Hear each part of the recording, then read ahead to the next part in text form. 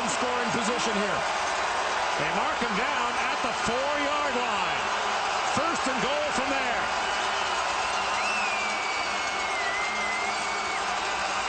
Masoli, three-man rush, throws to the end zone, touchdown! Andy Fantuz. And the Ticats improbably have taken the lead going into halftime. Who saw this coming? Now, it's early to think about it. Do you go for two here? Remember, Hamilton has to win the game by six or more to clinch first place, but they're going for one now. Hamilton